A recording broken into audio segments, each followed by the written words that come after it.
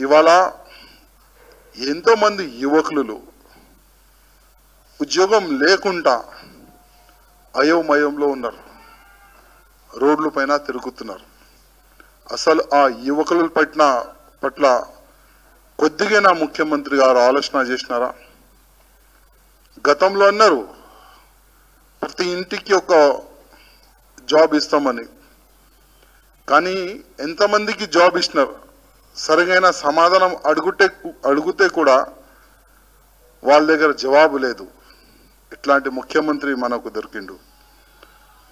కనీసం గతంలో forty days నడిచేది ది అసెంబ్లీ థర్టీ డేస్ నడిచేది ది అసెంబ్లీ. కానీ ఇవాళ ముఖ్యమంత్రి గారు ప్రజలకి సమాధానం ఇవ్వకుండా ఎమ్మెల్యేస్కి సమాధానం ఇవ్వకుండా ఆపోజిషన్కి ఎవరు కూడా సమాధానం ఇవ్వకుండా ఒక ఈ కరోనా వచ్చింది ఈ కరోనా వైరస్ పెరుగుతుంది దీనివల్ల మేము అసెంబ్లీ మధ్యలోనే మేము ఖతం చేస్తున్నామని అంటే చేత కాకుండా అసెంబ్లీ నుంచి పారిపోయాడు ఇది కూడా చెప్పొచ్చు. ముఖ్యమంత్రి గారు అదే అసెంబ్లీలో మరీ మరీ చెప్పిండు. ఆయనకి ఒక సైంటిస్ట్ ఫోన్ చేసిండంట. ఆ సైంటిస్ట్ అన్నాడంట ఇది అంత ఎఫెక్ట్ ఉండదు. ఆ ట్వంటీ ఫైవ్ డిగ్రీకే ఈ వైరస్ ప్రభావం ఖతం అయిపోతుంది మన తెలంగాణలోనే థర్టీ థర్టీ ఫైవ్ డిగ్రీ వెళ్తుంది. ఎవరు భయపడొద్దని ముఖ్యమంత్రి గారు అన్నారు. కానీ టూ డేస్ తర్వాత మళ్ళా ఒక నాటకం ఆడిండు. మళ్ళా ఒక ప్రెస్ మీట్ పెట్టి థర్టీ ఫస్ట్ మార్చ్ వరకు ఫంక్షన్స్ ఫంక్షన్స్ అది చేయొద్దు ఇది చేయొద్దని ఒక పెద్ద ప్రెస్ మీట్ కూడా చేసిండు. అన్ని బంద్ చేపించేసిండు ఇవాళ ముఖ్యమంత్రి గారు మేము కాదు తెలంగాణ ప్రజలు మీకు అడుగుతున్నారు. ఇవాళ మీరు ఎన్ని రూపాయలు మీరు తీసుకుంటారు? అసలు మీ అసలు రూపం ఏముంది? చెప్తారా?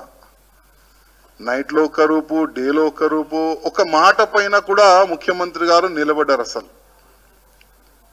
నైట్ పూట ఒక్క మాట్లాడతారు మళ్ళీ డేలో ఒక్క మాట్లాడతారు మళ్ళీ మధ్యాహ్నం ఒక్క మాట్లాడతారు. అంటే ఒక జంతు ఉంటుంది చూడు ఒక కలర్ చేంజ్ అయితేనే ఉంటుంది. ఆ? తెలుసు కదా ఆ జంతు. ఆ జంతుకి మన ముఖ్యమంత్రికి కాంపిటీషన్ చేపిస్తే ఫస్ట్ రేస్లో ముఖ్యమంత్రి గారికి మెడల్ వస్తుంది. అంటే అన్ని రూపాలు మన తెలంగాణ గారు మన ముఖ్యమంత్రి గారు చేంజ్ చేస్తారు అన్ని రూపాలు. అదేవిధంగా ఎడ్యుకేషన్ పట్ల మేము అసెంబ్లీలో అడిగినాం సమాధానం ఇవ్వలే ఎడ్యుకేషన్ పట్ల ఈ two thousand twenty twenty one బడ్జెట్లో చాలా తక్కువ బడ్జెట్ రిలీజ్ చేసినాడు లెవెన్ థౌజండ్ కరోడ్స్ అది శాలరీకే సరిపోతుంది అది. మిగతా దానికి ఎక్కడి నుంచి తెస్తారు? అది సమాధానం ఇస్తే ఒక టీంని తయారు చేసినారు అసెంబ్లీలో. మీరు చూసినారేమో అనుకుంటా. ఒక టీం ఉంటుంది డప్పులు కొట్టేది టీం. డప్పులు కొడుతూనే ఉంటారు. అంటే ఎదురుగా ఉన్న ఆపోజిషన్ మాట్లాడొద్దు వాళ్ళు డిస్టర్బ్ అయిపోవాలి. ఆ విధంగా ఒక డప్పులు టీం ఒకటి ఉంది. ఇంకొక టీం ఉంది అర్షేడ్ది టీం. ఆపోజిషన్ వాళ్ళు మాట్లాడితే వెనక నుంచి పక్క నుంచి లెఫ్ట్ నుంచి రైట్ నుంచి అర్షేడ్ది ఒక టీం ఉంది.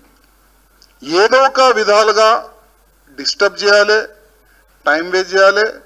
మళ్ళీ మన స్పీకర్ గారు టింగ్ టింగ్ అని బెల్ కొడతారు మీ టైం అయిపోయిందని మైక్ బంద్ చేస్తారు. ఈ విధంగా ఒక ప్లానింగ్గా వీళ్ళు అసెంబ్లీ నడుపుతున్నారు. ఎందుకు ఈ ప్లానింగ్? అంటే వీళ్ళ దగ్గర అసలు బడ్జెటే లేదు. ప్రజల సమస్యల పైన సమాధానం అడిగితే వీళ్ళ దగ్గర జవాబు కూడా లేదు. ఇవాళ మేము ముఖ్యమంత్రి గారికి అడిగినాం. అసెంబ్లీ సాక్షిగా అడిగినాం. ఓ అయ్యా ముఖ్యమంత్రి గారు మీరు బయట అబద్ధం మాట్లాడతారు అందరికీ తెలుసు.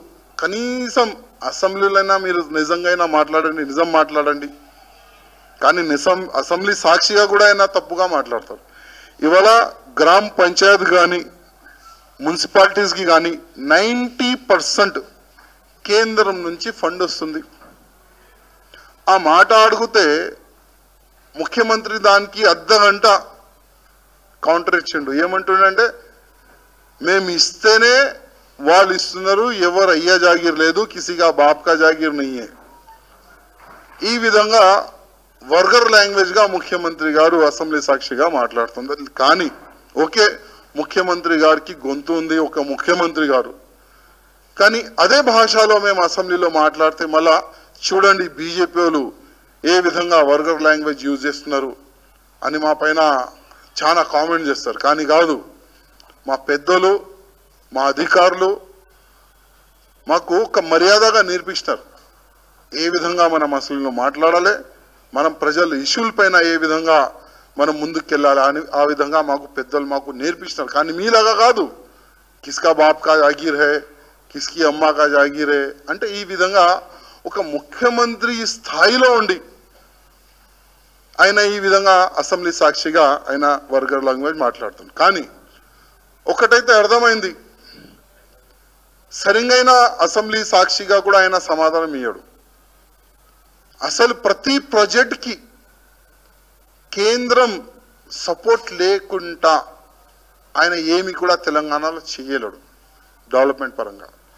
అది అడిగితే కూడా ముఖ్యమంత్రికి భయం. సమాధానం లేదు కదా. ఎందుకంటే ఒక్కొక్క పాయింట్ టు పాయింట్ ఎందుకంటే మాకు టైం ఇచ్చేది ఎంత? Five minutes six minutes ten minutes twelve minutes అంతే. మా దగ్గర ఎన్ని డాటాలు ఉందనంటే ఒక్కొక్క సబ్జెక్ట్ పైన మేము మాట్లాడితే కనీసం రెండు గంటలు కావాలి. ఆ రెండు గంటలు ఇచ్చే దమ్ము కూడా ముఖ్యమంత్రి గారికి లేదు. మేము అడిగినాం అసెంబ్లీలో. లేలే మీరు బీజేపీ వాళ్ళు మీరు ఒక్కడే మీకు ఇంతే టైం అని ఆ మీదగా మాటలు మాట్లాడి వాళ్ళు వెళ్ళిపోయినారు. ఇవాళ ముఖ్యమంత్రి గారికి మేము అడుగుతున్నాం. Two lakhs two BHK double bedroom. మీరు సెంటర్ నుంచి పర్మిషన్ తీసుకొని వచ్చినారు. దానికి అమౌంట్ కూడా మేము ఇస్తున్నాం. కానీ దాంట్లో మీరు ఎన్ని కట్టించినారు ఈ ఐదు సంవత్సరాల్లో? ఇంకా ప్రాసెస్లో ఉంది ఇంకా తయారైతుంది ఇంకా మేము ఇస్తాం. ముఖ్యమంత్రి గారు మీ పక్కనే మన పక్క రాష్ట్రం ఆంధ్రప్రదేశ్. ఇప్పుడు మీరు చాలా మంచి సంబంధాలు మీరు పెంచుకున్నారు మన ఆంధ్రప్రదేశ్ ముఖ్యమంత్రి గారితో చాలా మంచి సంబంధాలు. కనీసం వాళ్ళకైనా మీరు చూసుకోండి. వాళ్ళు దాదాపు పన్నెండు లక్షలు ఇల్లులు కట్టి ఆల్రెడీ ప్రజలకి ఇచ్చేసినారు. ఇంకా సిక్స్ ల్యాక్స్ ఇల్లులు మేము కడతామని పర్మిషన్ కూడా తీసుకొని వచ్చినారు. కానీ మీరు తీసుకున్న రెండు లక్షల ఇల్లులకి పర్మిషన్ కానీ అమౌంట్ కానీ అది కూడా కట్టి ఇచ్చే దమ్ము లేదు మీకు. మళ్ళా దానిపైన మీరు రాజకీయం చేస్తారు మీరు. పెద్ద పెద్ద మీరు మాటలు మాట్లాడతారు. ఇవాళ మన తెలంగాణలో ట్వంటీ ఫైవ్ హౌజెస్ కట్టి ఉన్నాయి. గతంలో ఇది కట్టినారు. వాంబే ఇంద్రమ్మ రాజీవ్ గృహకల్ప రాజీవ్ స్వ గృహకల్ప. ఈ నాలుగు స్కీమ్స్ కింద దాదాపు ట్వంటీ ఫైవ్ థౌజండ్ ఇల్లులు కట్టి పెట్టినారు. ఇప్పుడు ఆ ఇల్లులు మనం పరిస్థితి చూస్తే ఇప్పుడు ఏదైనా ఒక కొత్త ఇల్లు కట్టిన తర్వాత దాంట్లో ఏదైనా యాక్టివిటీస్ లేకపోతే కొద్ది డ్యామేజ్ అయిపోతుంది. ఇవాళ ఈ ట్వంటీ ఫైవ్ థౌజండ్ ఇల్లు పరిస్థితి మీరు కానీ మనం పోయి చూస్తే దీంట్లో ఉండొచ్చా ఉండలేమా? ఆ విధంగా ఆ ట్వంటీ ఫైవ్ థౌజండ్ ఇల్లుల పరిస్థితి అయిపోయింది. ఇవాళ ముఖ్యమంత్రి గారు అంటున్నారు మా దగ్గర టీ పరిస్థితి ఒక్క ఫుల్ మా దగ్గర ఫండ్ ఉంది మా దగ్గర బడ్జెట్ ఉంది ఎవరికి మేము బయా బకాయా లేదని ముఖ్యమంత్రి గారు అంటారు. కానీ ఇవాళ six thousand seven hundred and fifty one crore rupees fees reimbursements కింద బకాయా ఉంది.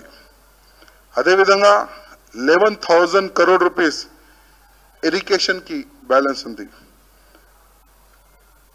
One hundred and twelve crore rupees Aarogyasri వాళ్ళకి బ్యాలెన్స్ ఉంది.